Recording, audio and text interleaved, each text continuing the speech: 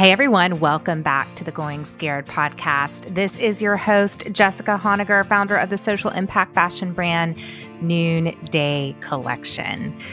Well, we have another incredible conversation today in our resilience series. These conversations have grounded me, encouraged me, and really given me some practical strategies on how we can rise strong right now. One of the themes that I have picked up on as I've talked to each one of the people we've interviewed so far in this series is this idea of accepting what is. We have to be able to accept what is before we can move through, before we can rise up, we have to be able to accept what is.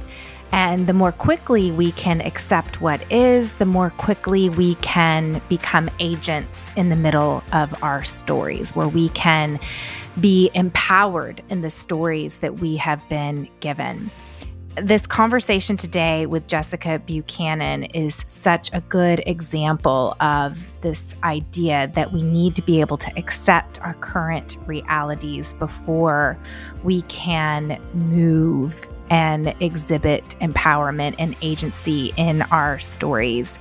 Jessica has an incredible incredible story honestly this conversation it it's oh, well, just get ready. It's going to impact you in your soul. In your soul. On October 25th, 2011, while on a routine field mission working for an NGO in Somalia, Jessica, along with another colleague, they were abducted at gunpoint and held for ransom by a group of Somali land pirates for 93 days. As you'll hear, Jessica was held outdoors in deplorable conditions, starved and terrorized by more than two dozen of these gangsters, what they call land pirates. You can read about her ordeal documented in her New York Times bestselling book, Impossible Odds The Kidnapping of Jessica Buchanan and Her Dramatic Rescue by SEAL Team 6. I met Jessica just a few months ago at a Noonday Collection trunk show and immediately clicked with her. And you'll hear our story in this conversation. Jessica now lives in DC, which is where I met her, and she speaks about her ordeal in multiple venues. And she's the co host of the podcast.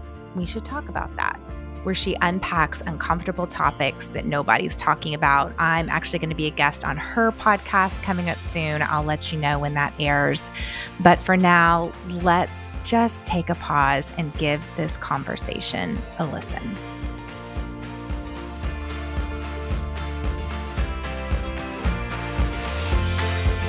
Okay, so this is so crazy. When I was designing the book cover for Imperfect Courage, and you've written a book too, so you know uh-huh. there's the whole the whole what the cover is going to be is a whole thing.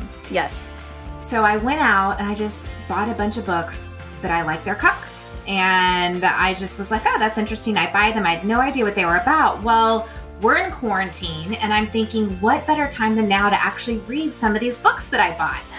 Yeah. So pick up this one book and it's a picture of the sky. Literally, I don't know what it's about.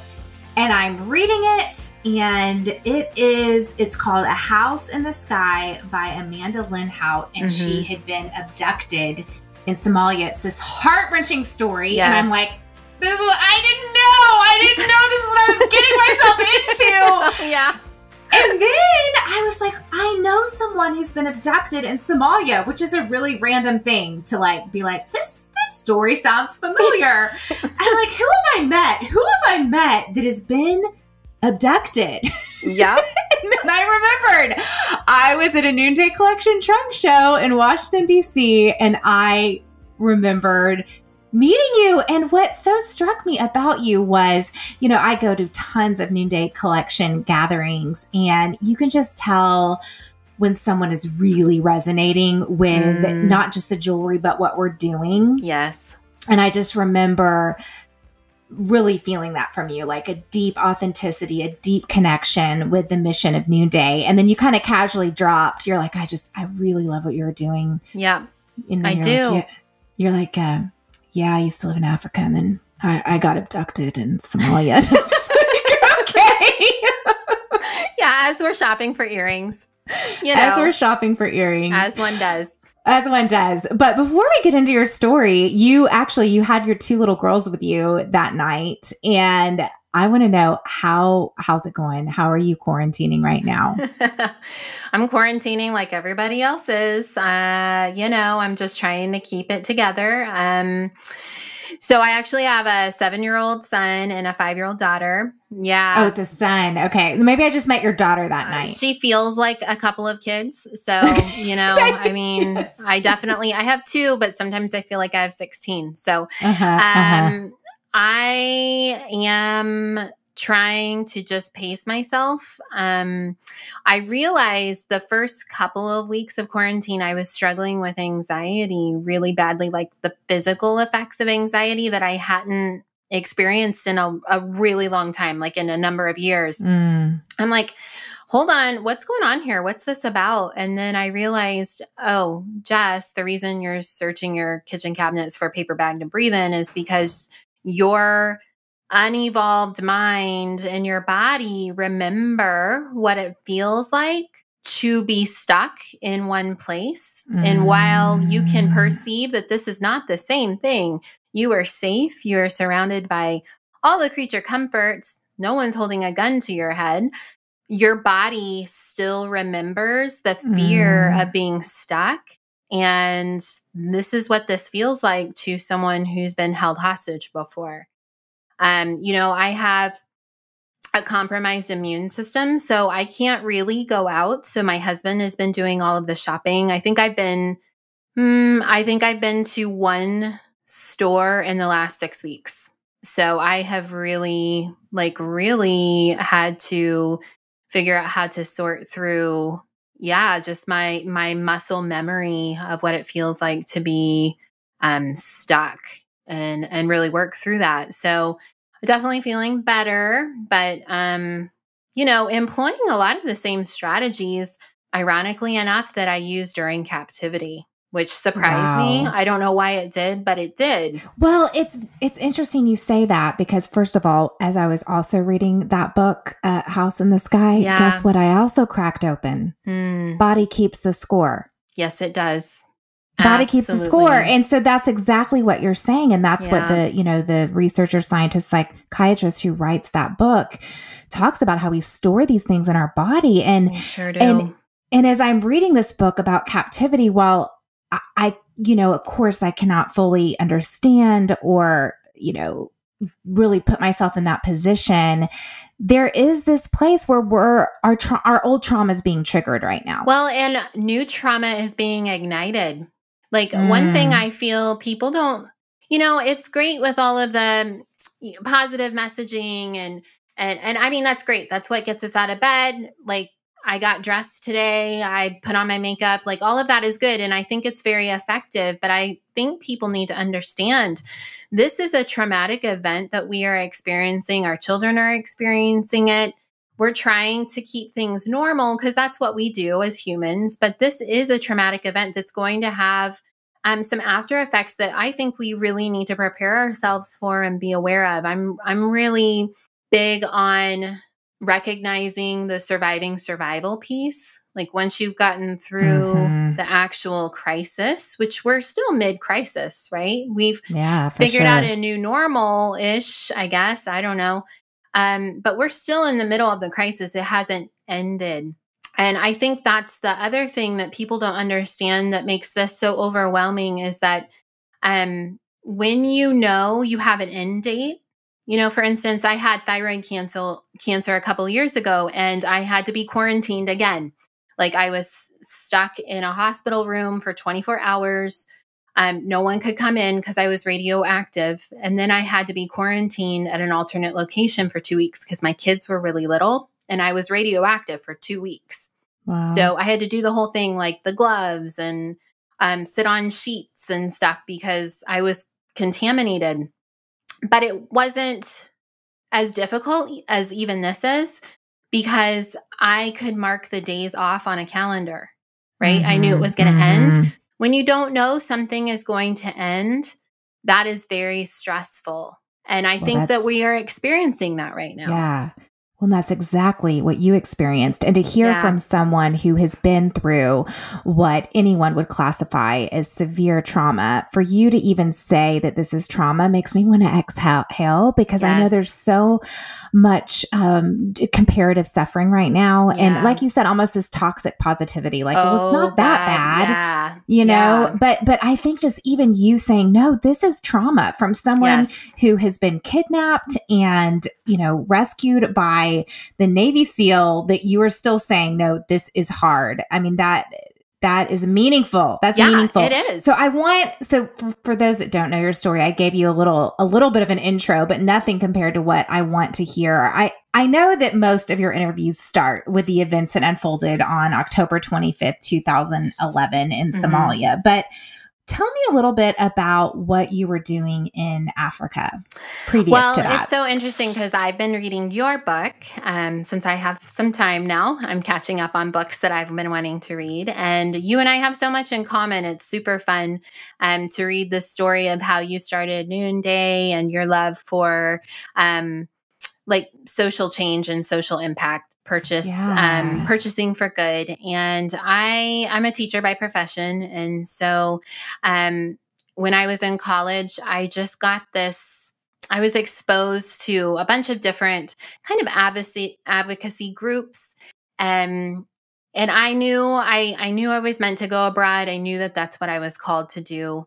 Um, i wanted to use i i was raised in a um like a very I have a very Christian upbringing. Um, my parents were kind of alternative um, artists, um, but they always felt and they raised me very much with this mindset of to whom much is given, much is required. And um, it can get a little hairy because sometimes you fall into the whole guilt zone, right? Mm. But I felt I had resources and skills that had been given to me and I had a responsibility to go out into the world and to use those. Um, so I knew I was either going to go to India or I was going to go somewhere in Africa. I had this super cool uh, moment where I met somebody who changed my life, a friend who um, has become a very dear soul um, connected spirit for me. And um, she got me into this international school in Nairobi. And that's actually how I ended up teaching in Nairobi, Kenya. I met my husband. Um, we fell in love. We got married. And then I did what one does and moved to Somalia with him. Um, and that. that was the start of our fairy tale. I just moved to yeah. Somalia, yeah. Um, and it was it was everything I wanted. It's everything I worked really hard for. Everything I actually dreamed of. I know it's not like most little girls' dreams to grow up and be a school teacher in Africa, but you could probably ask uh, kids that I was in junior high with, and they knew that that's what I was going to end up doing. That's just who I was, and um, and I loved it.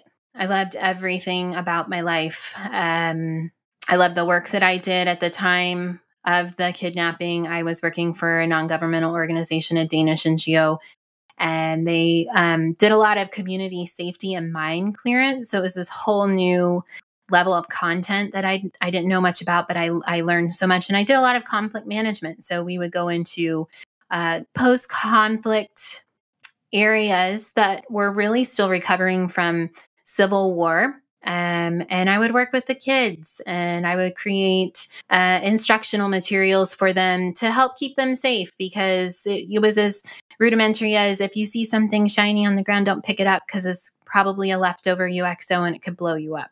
Um, so that's what I did. And I would travel all over East Africa and work with these community groups to try to help them stay safe. Um, mm. So yeah, it was it was the job that I had I had worked really hard and I dreamed about. So I was, as you would say, living my best life. Mm. And you're living in Somalia, living your best life. Aware that you are that one of the dangers could be kidnapping. Had you camped out on a worst case scenario before you were kidnapped? I mean, you go through trainings um, and you have security advisors and there are protocols. You know, I wasn't freelancing. I, I wasn't there on my own volition. I was there with an organization that was doing work for the UN. And, you know, so there we had lots of systems in place um, in case something like this were to happen. And there had been a, a rash of kidnappings um, happen on the border of Kenya, like in the IDP camps. And um, you just never think that something like that's going to happen to you. You know, I, I remember like a week before I was abducted, my husband ran through he was running down the hallway of our apartment we were in nairobi and he showed me he had like a news report on his phone and he said um, two Spanish girls were working up in a refugee camp in Kenya on the border of Somalia, and they were uh, just kidnapped and taken across the border into Somalia. And I was like, wow, I mean, that's horrible. Um, I didn't know them personally, but yeah, that's that's terrible news. But it did, you know, it doesn't ever cross your mind that something like that would happen to you. You know, I, am a school teacher from Ohio. Like, how, why would anything like that ever happen to me? Um, and I think that that's the interesting thing when, wow, you find yourself in the middle. Well, you find yourself in the middle of hell, and your hell can look, everybody's hell looks different. Mm. And you think, I just never saw it happening this way. Just mm. never saw this. Ha- I never saw it coming. So, walk us through that day, October 25th, the day you were kidnapped. So, I had had some premonition I had had a, angst about this particular um, security trip. I had been in, you know, in communication with my security advisors, with my colleague. I was going down there.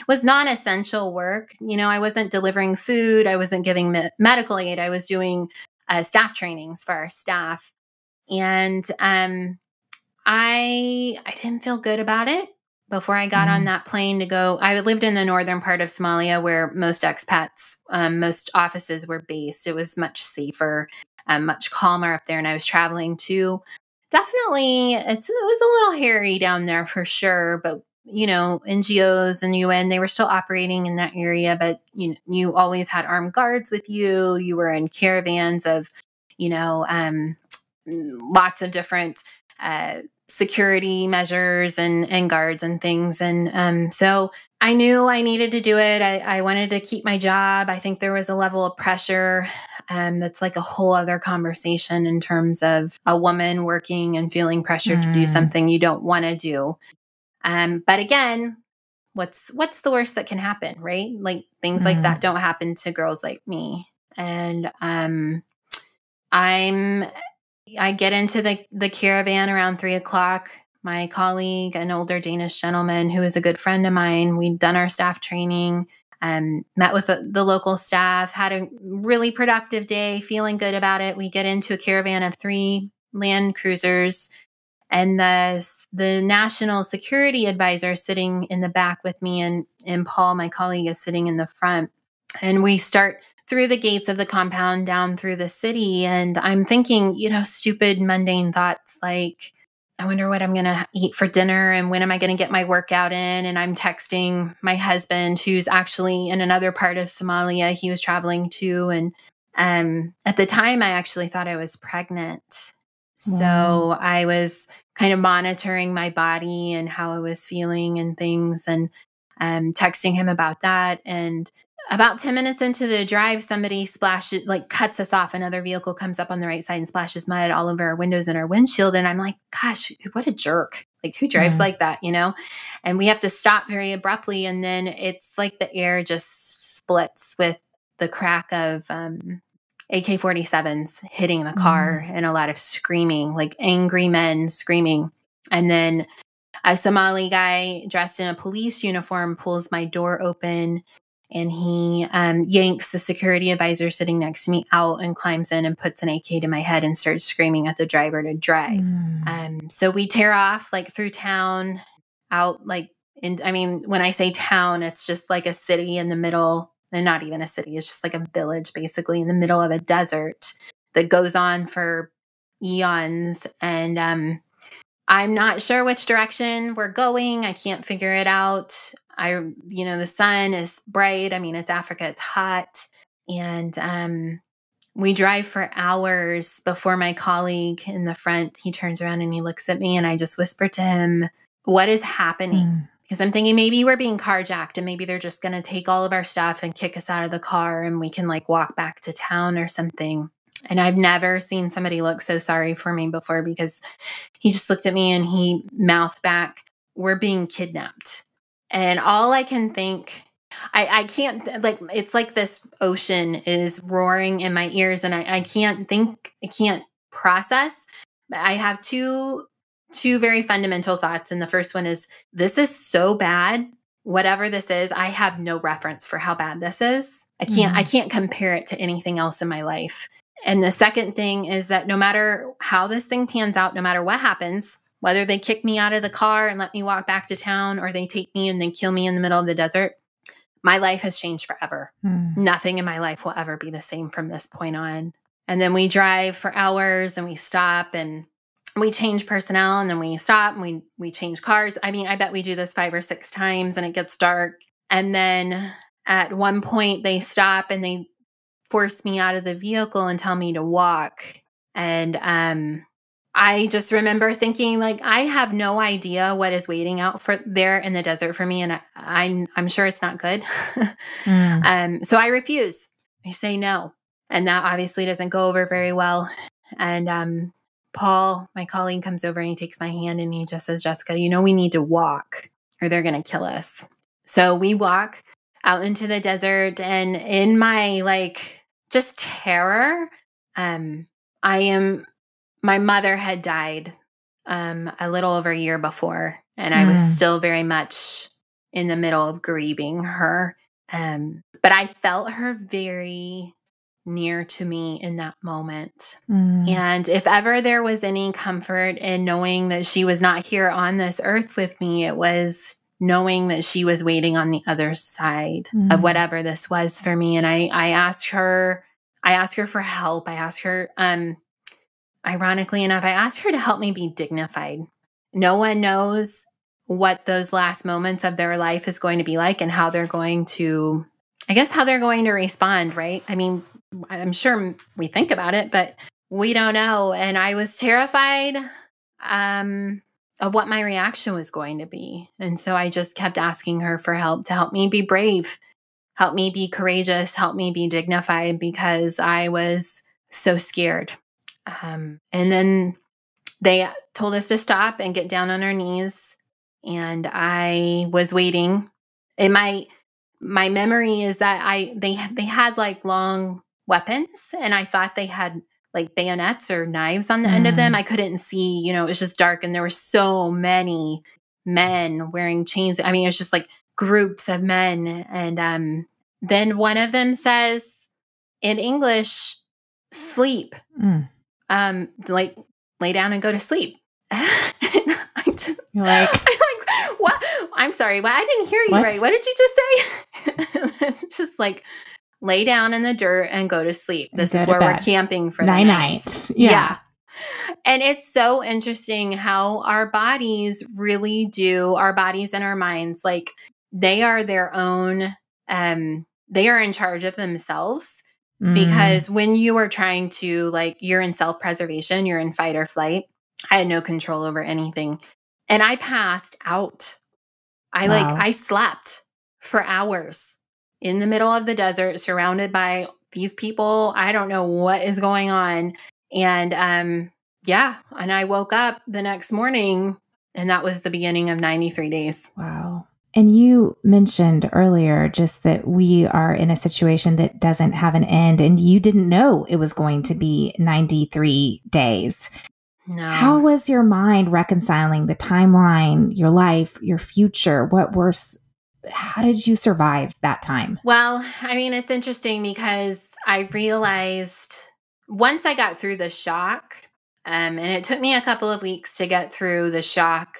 Um, of the situation and the reality of what I was living in. Um, you know, for a while I just couldn't think about anything other than the fact that, oh my God, like how is this happening? How how can this be happening? What am I gonna do? Are they gonna, you know, all the all the thoughts that you would have. And then once you settle into I think you go from like the shock to the denial. It is mm-hmm. very much like those stages of grief, right? And then you move into acceptance, like, well, this is what this is where I'm at. Like this is this is what I've got. So I'm gonna have to try to make the best of it. Um I, I think that it's very universal to any kind of situation you're going through. And so I d- realized I needed to take my time in increments. So, like, mm. I couldn't look at it. And I think this is very important for people to do now, too, is that um, you can't like look at the calendar and see that there's no like just question mark, question mark, question mark, right? Because that will, I mean, I think at one point, Amnesty International, their one of their definitions for torture was being detained without um, knowing when it was going to end.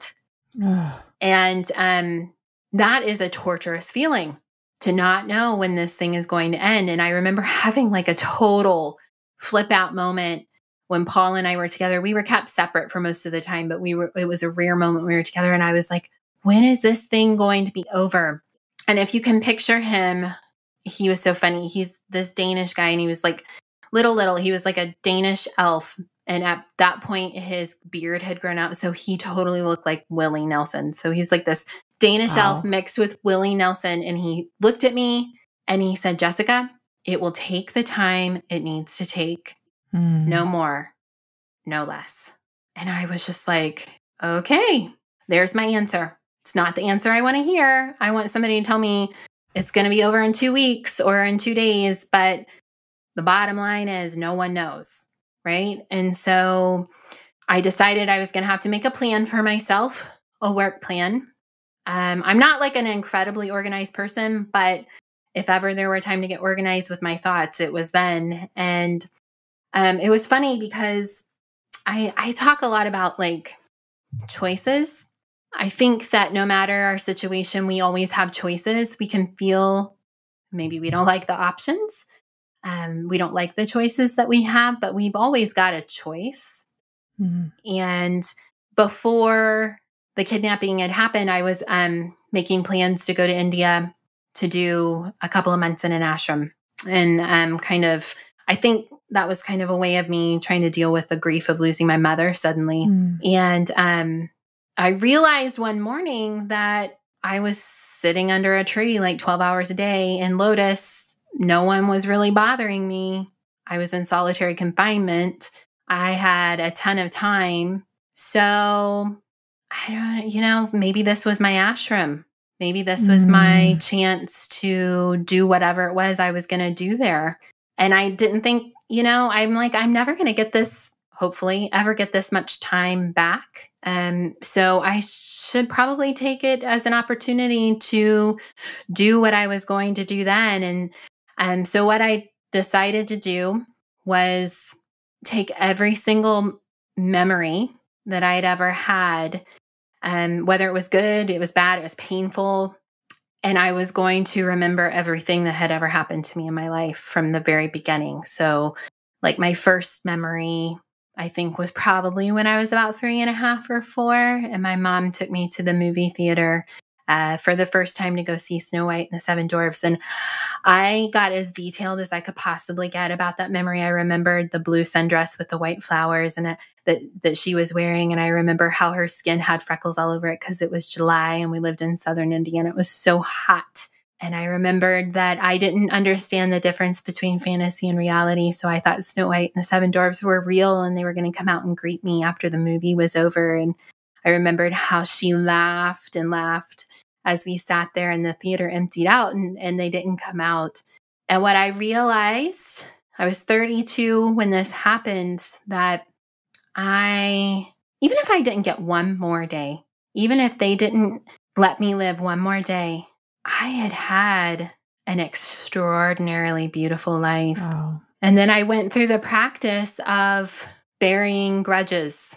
I actually got a stick and I dug holes in the dirt next to my mat And I had some forgiveness that I needed to do, including myself. And I'm really big on ceremonies. I love ceremonies. I think that they're very um, uh, going through those motions of whatever it is um, you're trying to let go of or practice is very important.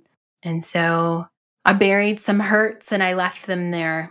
It's hard to think about it in that way, but it was, and it was um, something I'm really grateful for. It was um, a time that ended up being very, very beautiful um, that I don't think I'll ever have in my life again to do that work. Because I needed to do that work to make room for the next work, which was then trying to figure out how to live a life with PTSD and recover from trauma. Mm. So you're in the middle of creating this plan and really self therapizing, you yeah. know? I mean, but you're being treated like an animal in the midst of that. How, you know, you said that your prayer you wanted to your mom was, I want to keep my dignity. And yet you were not being treated in a dignified way. Tell us a little bit more how you were treated and were you able to access how were you able to access your dignity in the midst of that? I think that that was me accessing my dignity. I think that that was me mm. treating myself very gently and very beautifully and very lovingly um, to remind myself to feel all of those things because I am a human being, even if I'm not being treated that way. Mm. Um, I, I mean, I lost, see, I was there for 93 days. I think I lost 35 pounds in the midst of all of that. So I was definitely kept on a starvation diet. Um, I don't know, I maybe consumed 300 calories a day or something like that. Um, washing was very difficult. I would be given a liter of like diesel laced water to try to wash myself and my hair with every couple of days. Um, anytime negotiations weren't going well, you know, I had no idea what was happening. Uh, they started the ransom demand at $45 million. Mm. And I believe our people, like my people, my organization, um, and and the uh, the people that they had working with insurance and all of that countered at twenty thousand. So 45 million to 20,000 that's going to take a really long time to find mm. some meeting ground like meeting in the middle there. Um you know they would they would hit me they would put a gun to my head threaten to shoot me scream at me do you want to die? Put me on the phone while they were screaming at me so that I could scare whoever was on the other end of the line things are not going in the right direction um they filmed us made us do proof of life videos um, that they wanted splashed all over the news networks. Um, they would threaten to sell us to Al Shabaab on a daily basis, which was absolutely terrifying. My stomach mm. would drop mm. out of my body every time I heard that because Al Shabaab is an Islamic extremist group that has basically just run rampant all over the southern part of Somalia. And so I knew as an American woman, if I got sold off to Al Shabaab, I was dead dead. Mm. because now you know this was like this was like we call them pirates because they called themselves that land pirates right? Um because we weren't on the water. But this was not an ideological thing. It was mm-hmm. a i was just a commodity. I was just a dollar sign. Really wasn't personal. But if i got moved down to mogadishu or i was given to al-shabaab sold you know and they would constantly come and say like your people are not offering enough money. We could sell you to Al Shabaab for $5 million. And I think that that was very true, actually. And if they did sell us Al Shabaab, they were going to film it and cut our heads off because it, it, it wasn't about money to them. It was about the ideology of it. Mm. Um, I just, I, I mean, and of course, there was the constant threat of being raped. Mm. Um, fortunately, I was never sexually assaulted. Um, I, I, it's the grace of God and my mm mom protecting me. It was coming. I knew it was coming. Um, but I made it 93 days without being assaulted in that way. Mm. I think that my recovery would have looked different had mm. I had to endure something like that. I know at one point you described one of your captors as like a 10 year old kid with an AK yeah. to your head. And here you came to serve children and then there's this child that's now holding you captive. Yeah. I mean, that was the hardest experience I think of irony I've ever I've ever managed to live through. Um, you know, when I first caught the Africa bug, you would say it was um, I was really involved in different advocacy groups that were working to educate and promote the the message that you know there are children all over in various countries of Africa that are being stolen from their homes, taken away from their families, being forced to um, fight in these militia groups, or they're being you know used as sex slaves. I mean, horrible, horrible things. And I was naive enough to think that I could go and make a difference, I guess, in some regard. And um, and I hope that my service was to some extent helpful in in some way. Um, and I, you know, I had worked with recovered child soldiers for my organization, training them to work as education liaisons and, and things like that. So I'd, I'd been in the presence and in relation with recovered child soldiers, but I had never been in the presence of one who was actively working as a child soldier. And mm. I met Abdullahi the night I was kidnapped while we were being driven out into the desert. I heard this very like high pitched voice behind me, and I thought it was a woman, which would be so odd because in Somali culture, women and men are they their work and they are kept very separate.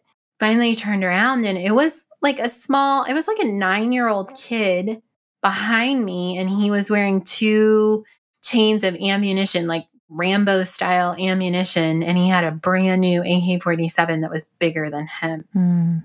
And he looked right into my eyes. And then I remember he just like lifted his chin. He acknowledged me, but he told me to turn around.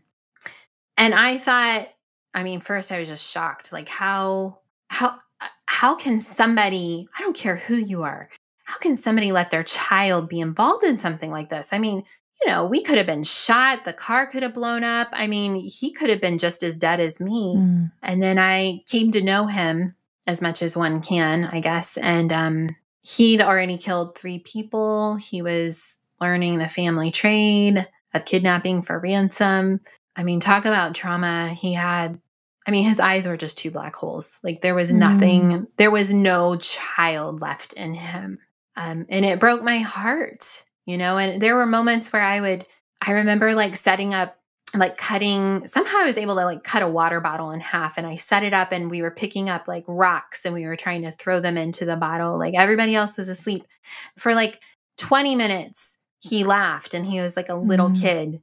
And then as soon as one of the other guards would get up, then he would turn back into just a monster.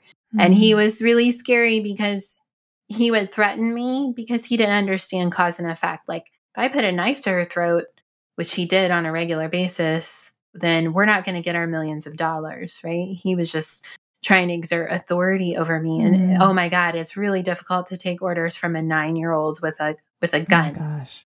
Um and then he disappeared at some point which I was really glad. I think whoever realized that he was a liability because mm. his behavior wasn't safe because he was. He still was a a child. Right.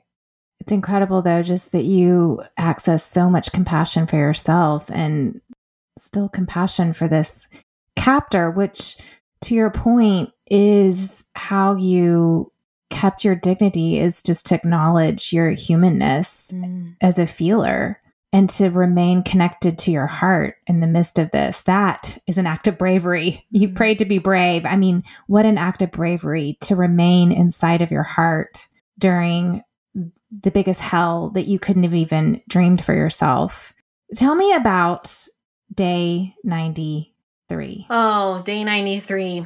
Well, I couldn't have known what was going to happen. Um, I was super, super sick. I have kind of laughed about the corona toilet paper shortage because, you know, 93 days with no toilet paper. I mean, you can't survive. it's not pleasant, but you can make it. Um, however, I had gotten a really bad urinary tract infection that had gone into a kidney infection. And I knew what it was because I'd had one before. And I kept asking for specific medicines. I kept asking for a doctor. Um, uh, like 10 days prior to day 93, um, I had been put on the phone for my last of what would have been six proof of life calls where they would put me, they would drive me out somewhere and they put me on the phone and I would talk to our family communicator. And she asked me how I was doing. And normally I would say, you know, I'm not okay, but I'm okay. Like I'm okay. Um, but this time I said, uh, I'm I am definitely not okay. I am sick. I have a fever. I'm hallucinating at some points. I can't walk by myself. I mean, I was in serious, serious pain. Um, and the, you know, they they needed me just alive. They didn't need me comfortable.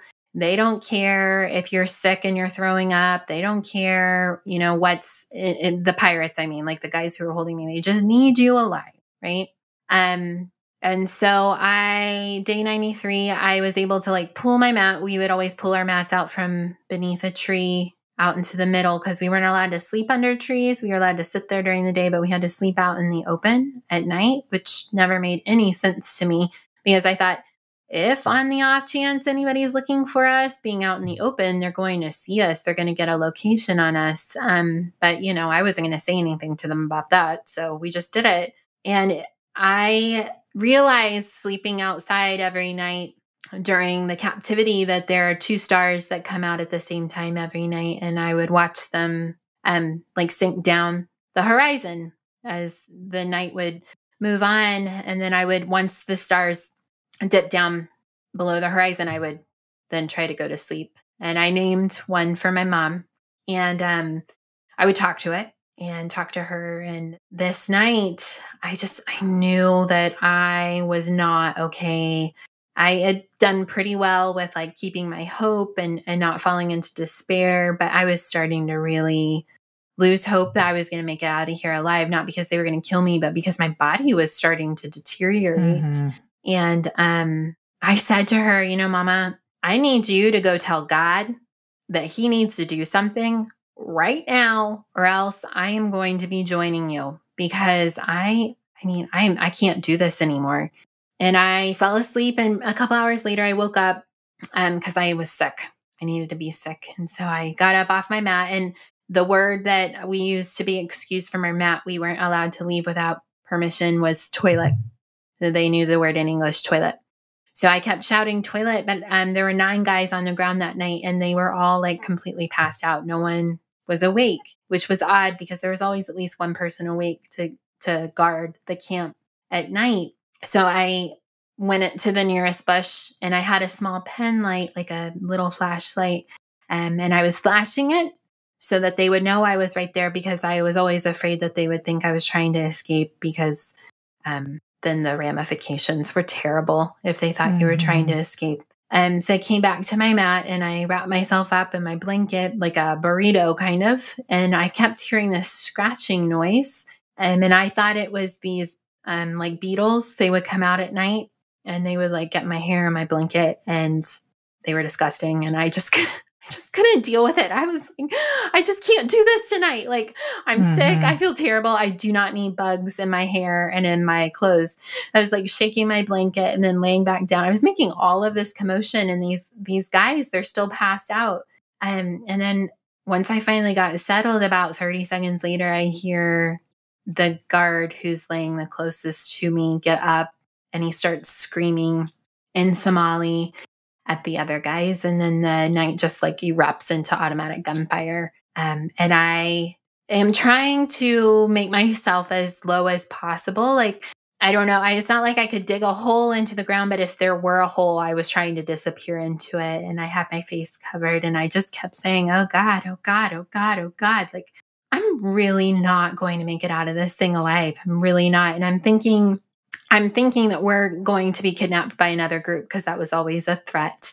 Mm-hmm. And Paul and I had decided, like, you know, it's better the devil you know, right? Like, by three months in, you've kind of figured out people's personalities. You've figured out who's going to be mean and who's maybe going to let you have some extra food that day. Like, it's better the way it is. I don't have the strength to be kidnapped by another group and to relearn how to survive that.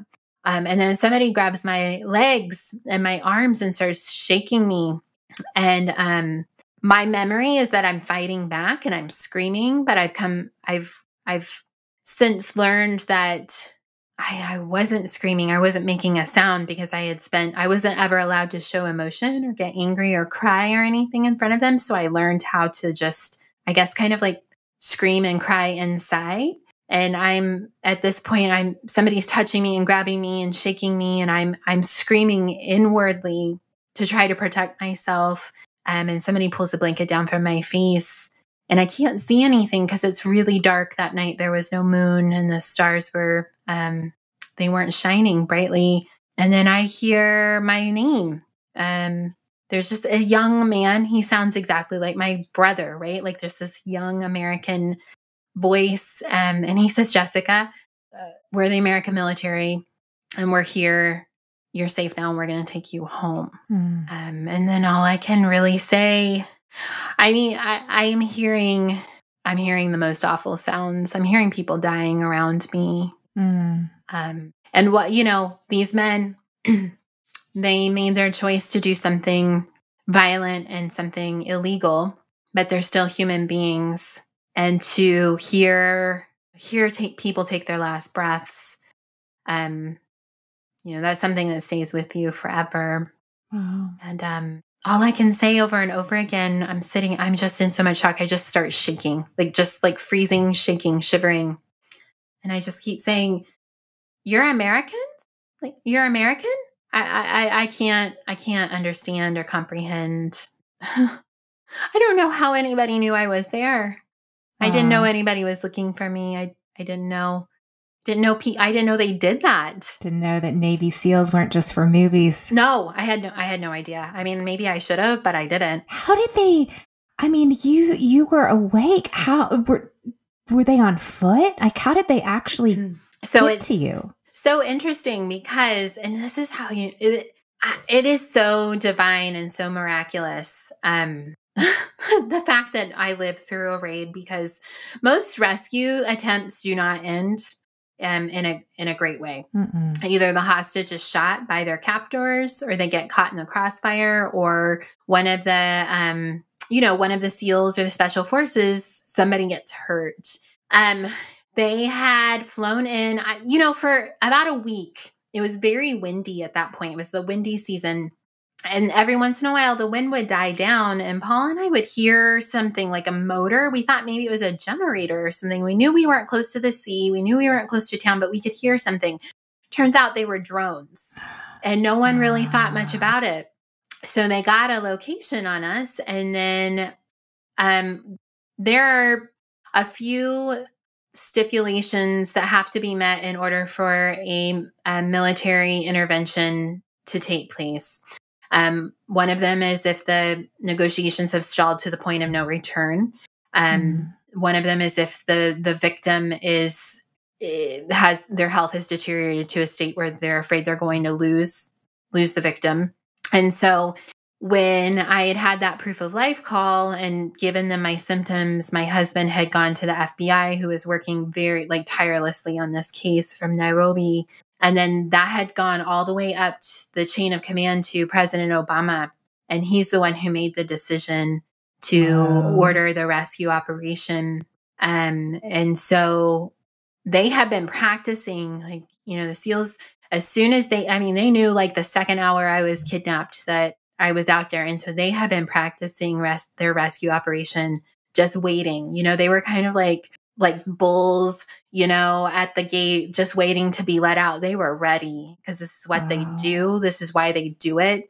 Um, and so they were flown out into the desert and they parachuted in the middle of the night. I mean, it's just unbelievable. Oh my you know, gosh. just in the middle of the night, they all land. I don't know how many of them there were. Um, and then they walk two miles to the camp. So the scratching that I was hearing was not bugs, but them walking through the brush. Whoa. And because I had gotten up, I mean, again, this is just so it's just divine that yes. I got, I woke up and I had to be sick, but they, because I was flashing my light the entire time, they got a location on me. Whoa. So they knew exactly where I was and they knew exactly where to go to get me. Yeah. I mean, it's mind blowing. Like, and this is why I love telling this story because if I could only get people to understand I am just this regular girl, this school teacher that grew up in mm. Ohio and just wanted to go and, I don't know, make a difference. And I got caught up in something that is so mind boggling. But I am telling you what, we are taken care of. Whoa. We are being protected. We are being provided for. I, I can't, I mean, there is nothing special about me. I am just like the luckiest girl on the face of the earth. But I'm like, if if God can do that mm. yeah, for little Jessica Buchanan, yeah. like what else is he gonna do for you? You wow. know? And I always say, like, I'm kind of a girl of confused faith and whatnot. But when I when I sit and I think about like, wow, man, it's mind blowing to think I'm here and I'm alive and I've got two babies that are driving me nuts. But you know, I am just so incredibly safe. Mm. You know, we're all we're just it feels we forget, but we are. We're we're safe. We're safe. Wow. It is. I mean, it moves me. It just moves me. And what a message that you get to now be, you know, just when you say you you thought maybe I could actually change the world and yet here you are still so many years later changing the world with this message and being brave enough to share it and to share it over and over and over again. I mean, you've shared on every news outlet imaginable, you've written a book, and you didn't have to do any of that. And yet you aren't hoarding your story, but you're mm. using your story for good. Mm. On that note, you know, we started off with you sharing that that we are in a crisis and we are being traumatized. What are some ways that we can walk through this so maybe we have a little bit less trauma to recover from once there is an endpoint, once we are actually looking back? You know, I mean, I'm just going back to the things that I did while I was in captivity, um, like on a real practical day to day level. Um, I am finding rituals. You know, we talk a lot about routine, and routine is great. And we know that we need that in order to get through the day. Um, but I am also setting up rituals for myself. I I I did that every night when I was like looking at the stars, those two stars that would go, you know, um, across the sky, and I would mentally go through my apartment in Nairobi that I loved, and I would do all of the things that I would do if I were there. I would go straighten up the couch and I would wipe my fingers, like in my mind's eye, right? Like I would wipe my fingers across the shelves. And then I would go into the kitchen and I would open up a bottle of wine and I would start preparing dinner and I would I would go through all those practices and I think now like we do have this really beautiful opportunity and I, I don't want it to come across as a toxic positivity thing because I'm very uh, I think someone who's been kidnapped and tortured, you your positivity is coming from you know a very deep place. So, well, there, I don't mean, think you're. Yeah, it doesn't apply to you. okay, well, thank you.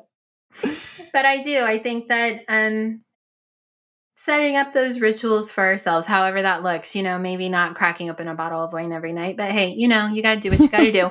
Um, yeah I think not putting that pressure on ourselves to learn something new, but maybe pick up something that we used to love um, mm. and try to get better at mm. it. I mean, pick something that you're going to, that you know that you can be successful at, that you were successful at before. And you need a goal. I mean, everybody needs goals to work toward. And whether or not that's like making the perfect chicken pot pie right now, or figuring out how to get yourself into a headstand during yoga.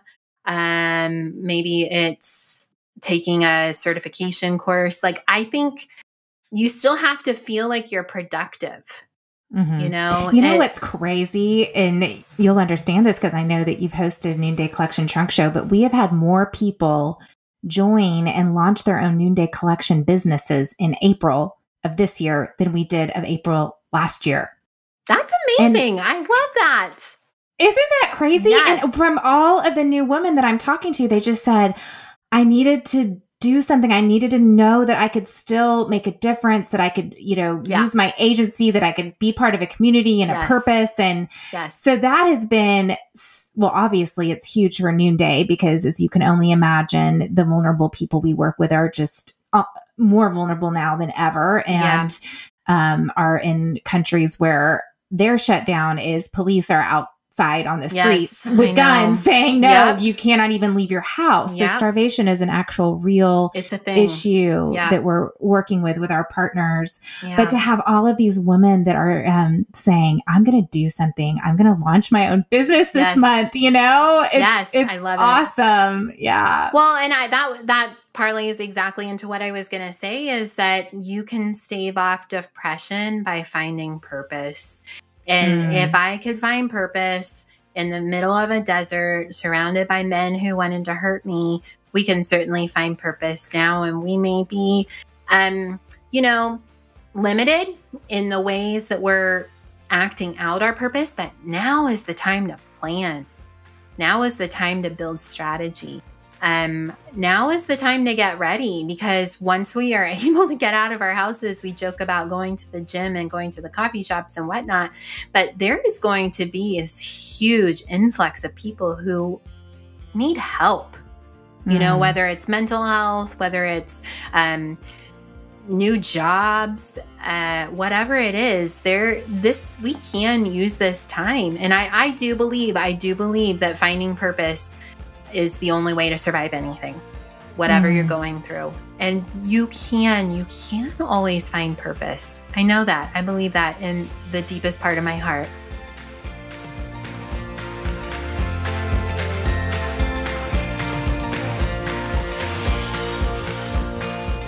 Having a purpose prevents depression.